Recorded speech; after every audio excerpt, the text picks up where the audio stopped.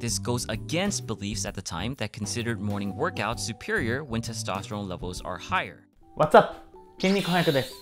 さあ今日はトレーニング効果が一番高まるトレーニング時間の設定方法を見ていきましょう。いつも何時ぐらいにトレーニングしてますか？いつも同じ時間ですか？それともまばらですか？朝か夜か？研究結果によるとより効果が高まる時間があるみたいですそして設定すべき優先順位も今回の動画で紹介してくれています。今回はピクチャーフィットさんまた見ていきましょう。僕は今まで朝トレ派でした。さあどの時間帯がおすすめなのでしょうか？早速見ていきましょう。どうぞ。Common wisdom is to simply work out whenever you can as long as you adhere to the schedule. If there was a time of day planning hierarchy of importance, unquestionably adherence lays the foundation. Following immediately is choosing a time you personally feel that you can perform the most effectively, be it day, noon, or night. No point in scheduling workouts at times you know that your performance simply won't be up to snuff. But going from here, there still lies some importance to selecting an explicit time.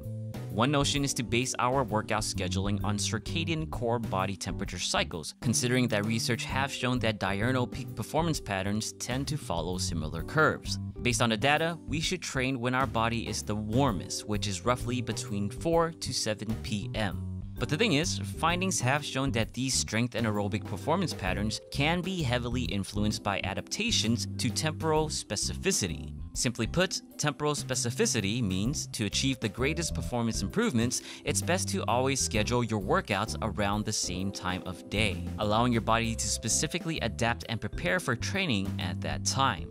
This is especially imperative for competitive athletes. They probably want to train around the same time of day as their typical events. The general consensus of the research shows this, with a 2012 review of such studies distinctly issuing this practical application above all else. Train at the same time of day as much as you can.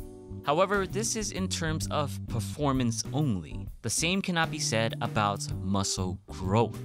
When looking at muscle growth in the quads, a 2009 study found a slight trend towards favoring training in the evening between 5 to 7 p.m. This goes against beliefs at the time that considered morning workouts superior when testosterone levels are higher. Apparently, acute spikes of test don't tell the full story.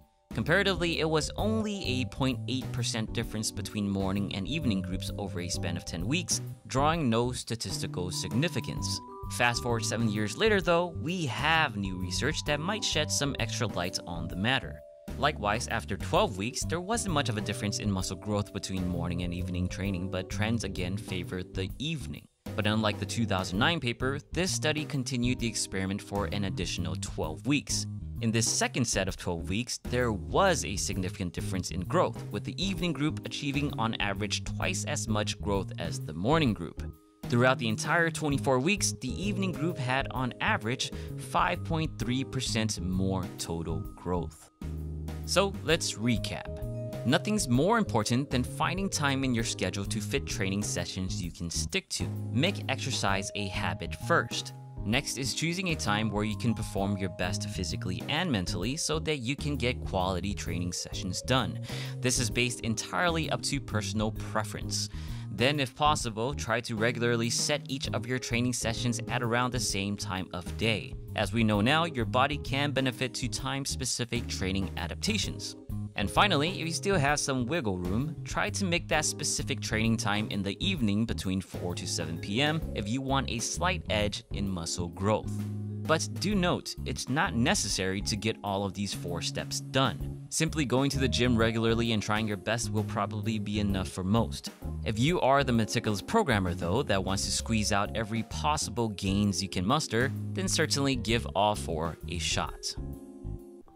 さあ、いかがでしたでしょうか優先順位順にまとめていくと、トレーニングを習慣化すること、身体ともに感覚的にベストな時間を見つけること、 できるだけ同じ時間にトレーニングをして体にリズムを知らせる。午後4時から7時に行う。この順番で優先順位が高くなります。今回のテーマの肝としてはこの午後4時から7時の間に行うというところが肝かなと思います。この理由としては体温のリズムそして朝と晩にトレーニングをするグループで分けた研究結果の夜のグループの方が筋肥大が高まったとのことでした。ただこれは24週間続けてようやく結果が出てきている差が出てきているので長く続ける気がある方はこの4時7時の間で行うことがおすすめになります。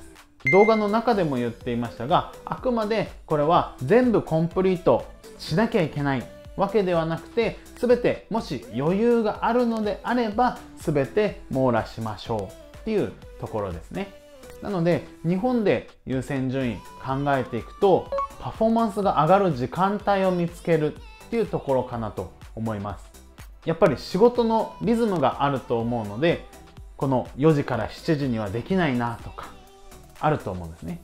なので仕事の後やった方が身体ともに全力を発揮できるのか仕事の前にやった方がいいのか仕事の合間でやった方がいいのかいろんなパターンがその人に合うと思います。なのでここをしっかりチェックしていきましょう。そしておろそかにしがちなメンタルの部分がかなり大事ですね。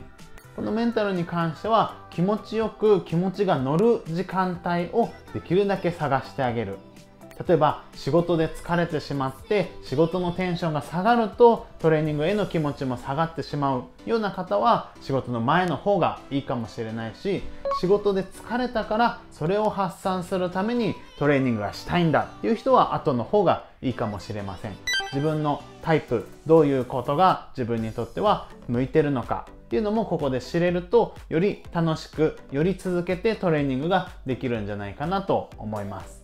みんなの好きな時間帯とその理由、そしてこの時間帯が効率良さそうだな、などなどコメント欄で教えてください。動画のリクエスト、チャンネル登録お待ちしてます。ではまた。